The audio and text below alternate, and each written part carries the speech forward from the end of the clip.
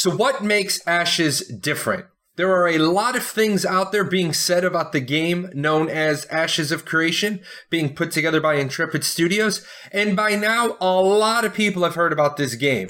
I know a lot of people hesitate to get involved with games when they're early in development. As you can see, PC Games has said that Ashes of Creation is the bravest MMO in development right now, and it already has a very strong foundation of followers. 500,000 people have signed up for Ashes of Creation. 40,000 people have bought packages uh, with a price tag high enough to get them into the alphas or the betas. So, what exactly is it about Ashes that makes it so new, so different, that it's drawing in this big crowd of people? Well, the first thing, the first thing is the world itself. Now, a lot of us have been playing MMOs for 10, 15, 20, 25 years, and we know that even in games that tout themselves as sandboxes, like in the upper left-hand corner, that is ArcheAge's map. ArcheAge touts itself a sandbox, but you have this very linear progression of where you should be at what level. Now, a lot of times a player needs to make this map, uh, as you can see in the World of Warcraft map, people put together a map of where the optimal place that you should be. Or sometimes the gamers, the programmers themselves, the developers, they put where you should be at what level. Now, this is the interesting thing because in Ashes, we're not going to have towns when we first get into the world. The world is blank. It is a blank slate and it is truly sandbox because the players are going to develop it. So why is that so unique and different? Well, because in your traditional game, you spawn and then you go around some area. You either spawn in a village or you spawn near a village, and you do like level one to six near this like local village, and then you move on to like the the regional hub, like maybe level to seven to fifteen, and you do it there, and then it's from about level sixteen forward, you work out of the next place, and really sometimes that's it Sometimes you have your headquarters for the rest of the game. A game I'm thinking of is uh, ArcheAge. Once you get to uh, Austera or Marianople, that's it. That's your headquarters really for the rest of the game. So how is Ashes breaking that? So here's you. Mm, wait, no, that's me. Here's you, and you've just spawned in the game. Now, where did you come from? You came from a portal. Now, that's their portal. And one nice thing about Ashes is that at launch, there's going to be four portals, and you're going to come through one of them. Now, if unlike most games where if I play an elf and you play an orc and our friend over there plays a human, usually you've got some shenanigans you have to go through to link up. You got to get to X level. Nice thing about Ashes is there's going to be four portals, but you can enter any one of the four to link up with your friends right away. Now, for all the people that are going to play the Tulnar, you don't get to link up with your friends through the portal. We don't know how linking up's going to happen. We don't know if linking up's going to happen. But for the four major races, uh, the ones that are returning, the ones that are coming back to this world that has been untouched by civilization for thousands of years, we're going to get to choose those portals. Now, at first, you got a couple of options for how you're going to approach the world. You're going to quest or you're going to gather. Now, I'm going to go with the caveat right here of other games have allowed you to gather right out of the box, uh, and they didn't quite work out right. Uh, Final Fantasy uh, 14, the original, was one of those. I actually started as a gatherer. Didn't work out well, was not a smart decision. Uh, ArcheAge is another one. You can gather right out of the box, but you're limited by labor. We're going to talk about gathering in just a second. We also know that you might not have a gathering tool in Ashes right away. You might need to, everybody might need to do a little questing or killing uh, at first. Then gathering will pop up. I do not want to leave crafting off the list, but obviously somebody has to have done some gathering before you can do crafting. But it will be totally possible once a little bit of infrastructure is there that you can be a cra- a full-time crafter. That is very unique. People are really interested in hearing about that. We're just crafting as a full-time profession. So, how's it going to work? Well, as I showed you, there are no towns, there are no villages, there's no citadels. We know there's some castles, but those are for a completely different mechanic of the game, and you don't go there right away. So you've got this blank void world. Now you show up in the world and you start working in this uh, teal-ish area that's known as a zone of influence. And the black dot inside of that teal area is known as the node. Now, at character creation at first launch, no nodes will exist. They will be there, but they won't have developed. They'll all be level zero. So if you stay in this tealish area and you quest and kill things, you'll generate XP and you'll eventually grow your node. Now, the interesting thing is, is maybe you didn't stay in the teal area. Maybe everybody rushed to the yellow area. Players are going to shape the world as it develops. So you've got your group of people, and we're just going to assume that you stayed in that teal area and you did enough stuff. You did enough questing, killing of mobs, maybe gathering. We're not quite sure how that's going to work yet. And you pop the teal area to stage one. Well, now the interesting thing is, is that node is going to exert its influence over all those local areas, that purple, orange, that upper purple, that green. And we don't know if it'd be able to do it over rivers. We, we don't have all the mechanics yet, but this stage one node is going to stifle the growth of all these neighboring nodes. So this is going to become the population center. Imagine that a lot of people now will find out that that node progressed. They're going to go there to get those gathering tools to start those things that a stage one node does. When this stage one node hits stage two, then some of these surrounding nodes will be able to go to one. So as you can see, Ashes is so different because the players are going to shape the world. And the other interesting thing is no two servers are going to look the same.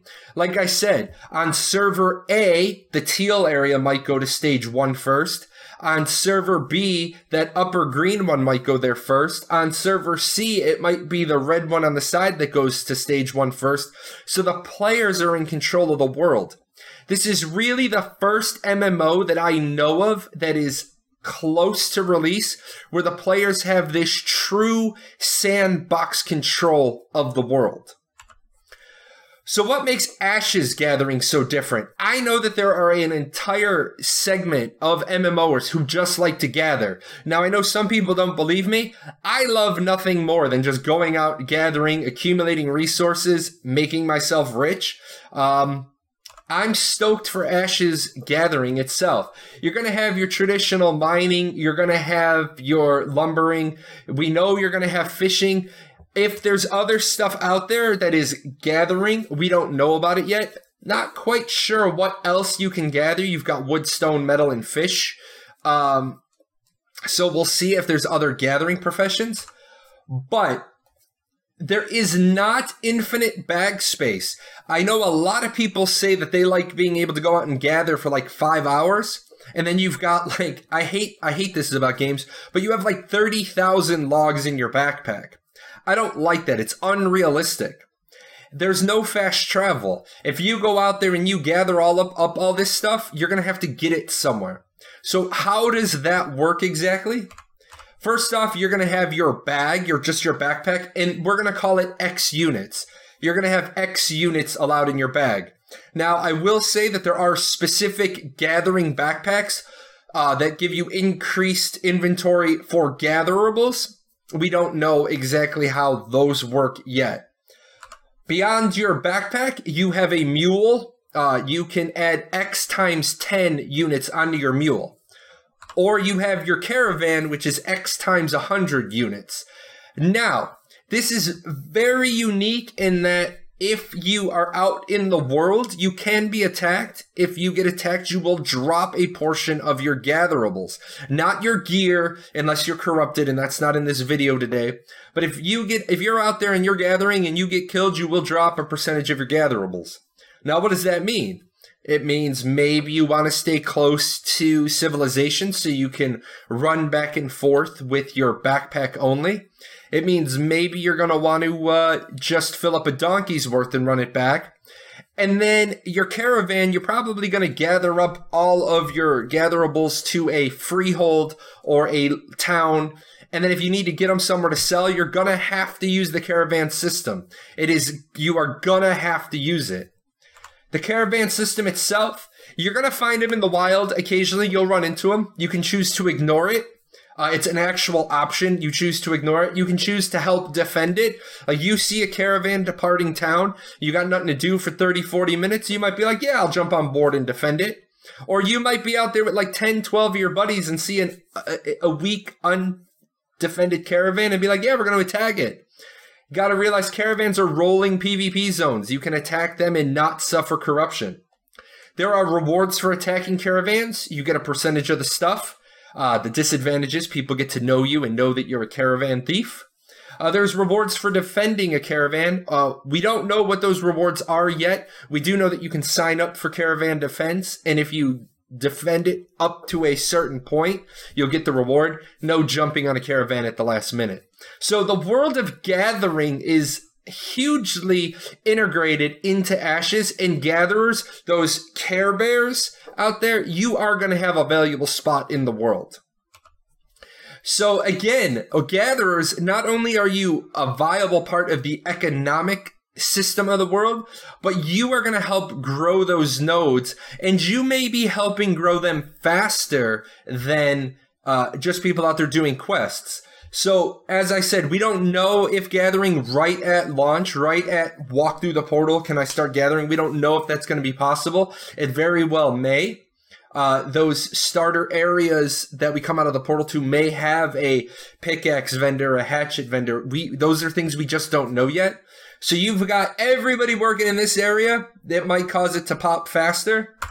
But those gatherers might go over to a different area that's more uh, lush with resources. So what you might end up happening is that node pops first and actually blocks out that node that a lot of the questers are in. So everybody doing anything earning XP is always feeding that node. So the players are in control. No more go from here to there to this other place because those places don't exist. We will be making them. So, what makes Ashes crafting so different? Just like I said with Gatherers, I know people in several MMOs that all they do is make gear. All they want to do is log in, socialize, talk to people. They're not role players per se. Some of them are. Uh, we're not going to talk about role players per se, but they're people who are just very social. They're hanging out in town. They're watching a movie on their side screen and they're like, oh, hey, can you make me this sword? I got all this stuff. And they're like, yeah, absolutely. I can do that for you. I know people that that's all they do. So what makes the crafting so different in Ashes? Well, first of all, Steven Sharif, the uh, CEO of Intrepid, he talks to us on the Discord all the time. And as you can see, farming, breeding, cooking, and crafting in general is of extreme importance. He even capped it extreme importance in the world. It is his personal opinion that players who control the economy exert greater influence of the world than those who directly influence PvP. And he's absolutely right. Uh, it is fine if you have a, a Zerg of 300 people, but if you don't have a good crafter among them, you will be outplayed by people who are better geared. Non combat playstyles will absolutely be a full time option and will yield considerable influence. Remember, guys, in this game, there are nodes that are determined by military strength. There are nodes that are determined by religious dedication. But there are nodes that are decided by money, how much money you have. And there are nodes that are decided by popular election. You could be a crafter in probably easily three, if not all four of those nodes and be a powerful uh, person, be a power player because, hey, if you don't get treated well by the military node, you just pack your stuff up and you go to a new node. They lose access to you. Uh, it's uh, lots, lots of value in keeping your crafters happy. Recipe paste. No RNG in crafting. I'm so happy about this. I'm so tired of RNG. RNG needs to die a horrible and painful death.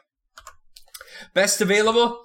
Top gear will be on par with the epic world boss drops. Absolutely. Uh, the best crafted gear will be as good as the best drops. But this dial system, and we don't even have a ton of information on the dial system yet. Nobody has seen crafting except maybe the people at Intrepid, and they certainly haven't shared it with us yet. The crafter gets freedom over the stats by which dials they turn when they're crafting. Each crafter will make their gear slightly different based on that dial system. So it's not going to be every level 40 leather worker is making the leather jerkin of Subway sandwiches and it gives you these stats. It's maybe I make my level 40 gear, uh, turning my dials this way, and they're a little bit more strength, stamina related. I'm just making stuff up now, by the way. And maybe that guy over there, he turns his dials a little different, and his are agility, uh, dexterity, stamina based. And we know the different social organizations, uh, it leads to access to different dials. So now here's the interesting thing. We know outright, we've been told that the Thieves Guild allows some dial turning to increase dexterity on leather armor.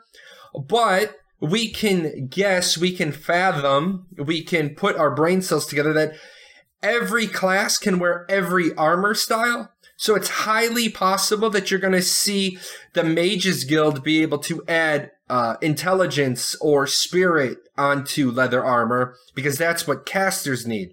So right here, crafting in and of itself, we could we could theory craft for hours and hours on just crafting, but we know that Steven has said it's going to be profound. It's going to have a profound impact on the world. And so that's it today, guys. I wanted to try to just sum up the three big areas uh, how the world is going to be different, how gathering is going to be different, how crafting is going to be different, and put that together. Really trying to draw more people into more Ashes discussions. Uh, most people have heard about Ashes already. If you haven't, uh, I invite you to sign up for Ashes uh, using my referral link. If you don't want to use my referral link, just chop off everything after the com and go and sign up. If you are one of the people that signed up and my numbers aren't reflecting properly, uh, let me know and we will talk about that offline. All right, guys, and that's it. Uh, this is all the ways to get in touch with me. I love talking to people about Ashes of Creation. I probably spend one to two hours a day uh, hanging out with people, talking about them, uh, showcasing stuff to them. Uh, if you want to talk, you can email me. Discord's the easiest. I'm on Discord all day. Uh, I stream a lot. I stream regularly on Wednesdays and Fridays. No matter what game I'm streaming, I guarantee you Ashes will get talked about at some point. So drop on by. And then, as always, big thank you to my sponsors uh, at Patreon. Uh, these guys help me do some giveaways. Uh, every dollar that the Paradox Gaming Network brings in goes right back to my fan base. So I do giveaways. All the Ashes money that I get from referrals will all be doing, I'll be doing giveaways once Ashes goes live. Anyway, guys, I'm going to go into post production. I want to get this out. I want to talk to a lot more people about Ashes. So make sure to uh, join us, join the Ashes Discord, uh, and make sure to sign up on the website. Take care, guys. Hey, where are you going? You're not done yet. See these videos? This video's up here to watch you got to go over here. Hit the chibi. Subscribe to the channel. Check out the webpage. And I'll see you guys on Twitch.